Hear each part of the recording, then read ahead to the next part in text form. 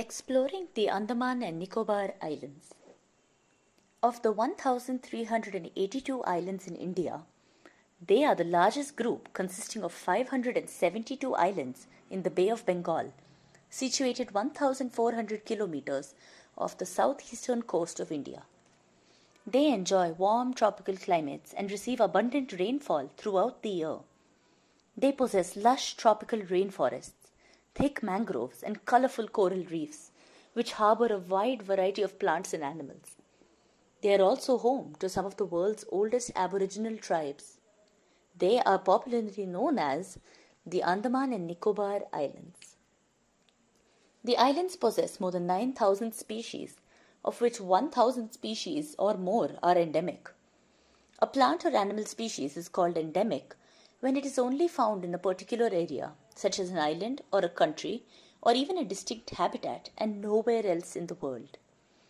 Having such a great diversity of animals, no wonder these islands are home to some of the most unique species of the world. Be it the cow that can swim in the sea, or the monkey that loves to eat seafood, be it the pigeon that carries a grinding stone in its stomach, or the fox that can fly, the Andaman and Nicobar Islands have numerous species that amaze us all. One such unique species is the dugong, a marine mammal that can weigh up to 900 kgs. It is also the state animal of the island group. This is popularly known as the sea cow, mainly because of its large, bulky body and its herbivorous diet consisting of sea grasses. Dugongs have a flattened tail and paddle like flippers to help them swim and a downward angled snout to ease their feeding on sea grasses. So, you see, we have cows living in the oceans too. And talking about large animals, these islands harbor the world's largest land crabs, known as robber or coconut crabs, which can grow up to one meter in width. Another unique endemic monkey species is the Nicobar long tailed macaque, usually found in the mangrove forests. They have brownish gray fur and a tail longer than their body length. These macaques are known to feast on small crabs during the dry season. The islands are a paradise for bird watchers as they host more than 250 species of birds, of which many are endemic and possess unique features. One such bird is the Nicobar megapode. Mega means large and pod means feet. These birds build mound nests by piling up soil, shells, and plant materials, such as leaves and twigs. The mounds can be as tall as 10 meters, and parent birds bury their eggs inside these structures. The heat produced by the decomposition of the plant materials helps incubate the eggs.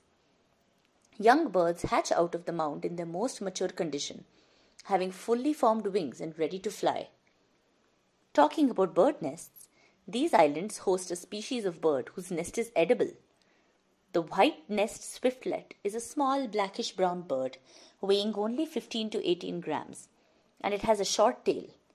These birds build an opaque white nest made entirely of solidified saliva. The nests are edible and used to prepare bird nest soup, which is a delicacy in China. Yuck for many of us, but a tasty soup in a neighboring country. Another bird species found on these islands, known as the Nicobar pigeon, is one of the most spectacular birds in the world. This pigeon possesses a metallic green and blue colored feathers that have a shiny, glittery appearance.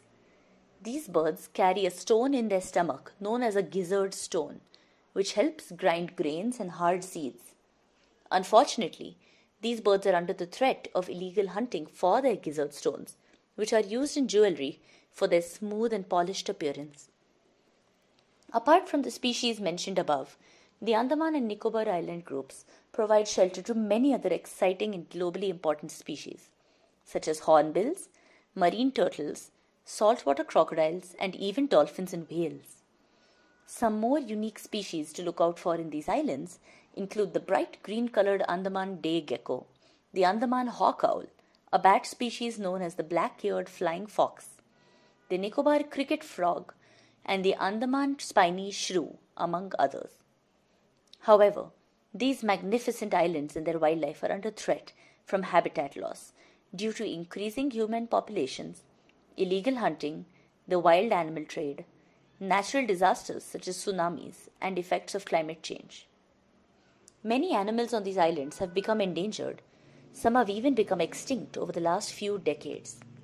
Therefore, we must act to spread awareness and take essential conservation steps to protect these beautiful islands from destruction and allow such unique creatures the chance to continue living among us.